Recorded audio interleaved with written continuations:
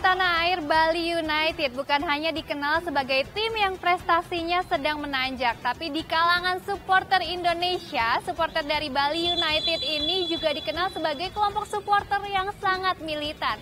Lady Dewata atau kaum wanita pendukung dari Bali United ini tentunya juga ikut serta setia mendukung tim Serdadu Tridatu ketika sedang berlaga.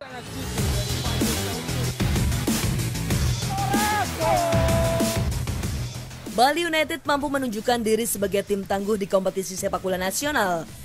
Berada di peringkat kedua klasmen akhir Liga 1 musim 2017, menunjukkan bahwa tim asal Bali ini adalah salah satu tim kuat di kancah sepak bola nasional.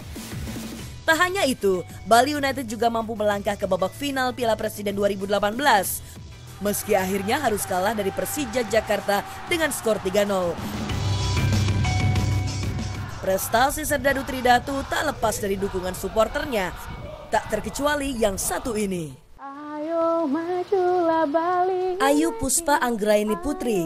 Darah muda ini merupakan Lady Dewata atau supporter wanita Bali United. Paras cantiknya selalu menjadi perhatian para supporter Bali United di stadion.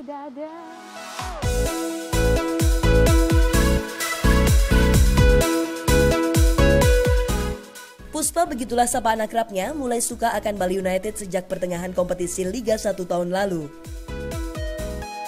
Bagi Puspa, mendukung Bali United langsung di stadion merupakan pengalaman yang luar biasa. Permainan Laskar Tridatu mampu memikat masyarakat Pulau Dewata. Dara 23 tahun ini langsung jatuh cinta dengan Bali United saat pertama kali datang ke Stadion Kapten Iwayan Dipta sama sekali nggak suka sama bola sama sekali paling benci yang namanya bola terus karena efek dideketin sama salah satu pemain terus uh, dikenalin ini bola kayak gini bola kayak gini gini gini. Kapan-kapan kamu nonton dong ke stadion gini. Oh ya next time ya kalau aku ada waktu aku nonton. Udah pas baru nginjak ke stadion tribun udah langsung sama suasana tribunnya atmosfernya orang-orangnya. Welcome semuanya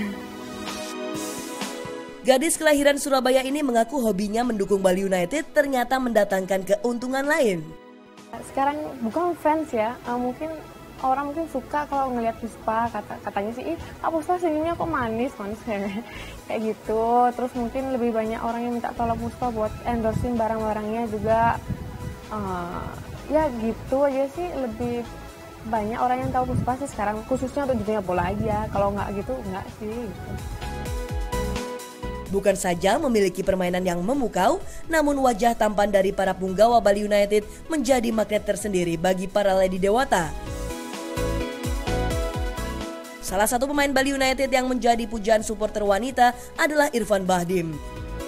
Tak terkecuali bagi Puspa sendiri. Irfan Bahdim, ganteng soalnya. ganteng, terus uh, gimana ya, hot daddy banget pokoknya cool terus ada lagi pemain baru Sagara juga terus hmm, ada Stefano Lillipali Swaso Swaso ya Swaso itu dah pemain yang ganteng-ganteng ia selalu merasa nyaman menonton pertandingan di Stadion Kapten Iwayan Dipta.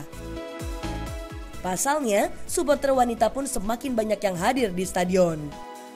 Uh, selama ini sih kalau ke stadion nggak ada sih nggak ada yang ngusilin. Mana mereka semua welcome sama Puspa ada. Ada yang malah minta kak Puspa boleh minta foto nggak? Gitu. Kak Puspa gini gini kerja di mana? Gitu gitu aja. Nggak pernah ada yang jahilin